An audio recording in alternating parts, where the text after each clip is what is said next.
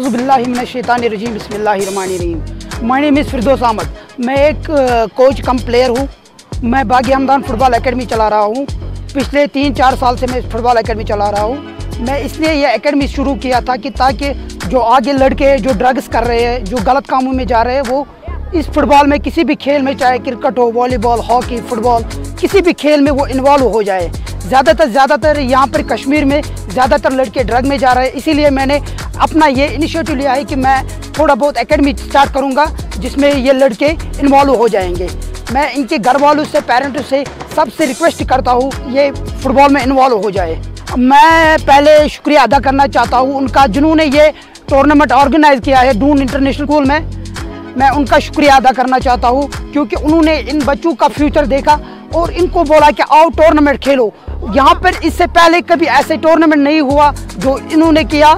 मैं thank you शुक्रिया अदा करना चाहता हूँ, जो इसका स्पॉन्सर है या लाइव पे आ रहे हैं, उनका भी शुक्रिया अदा करना चाहता हूँ, क्योंकि वो हमारी मैचेस हमारे बच्चों का मैचेस लाइव कर रहा है।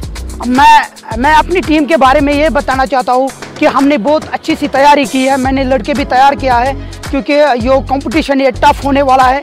इसमें बहुत सारी एकेडमी होगी, इससे बहुत सारे अच्छे अच्छे प्लेयर होंगे। मैं सब टीमों से रिक्वेस्ट करता हूँ, ताकि जो भी बच्चा उसको लाओ और इस टूर्नामेंट में पार्टिसिपेट करवाओ। मेरी मैसेज यही रहेगी, इन बच्चों को थोड़ा सा मेहनत करवाए और अच्छी तरीके से डिसिप्लिन में और अच्छी अच्छी फुटबॉल में स्कोप दिखाई मैं शुक्रिया अदा करना चाहता हूँ चैनल एफ़ का, जो लाइव ब्रॉडकास्ट चल रहा है। इस टूर्नामेंट को ऑर्गेनाइज किया।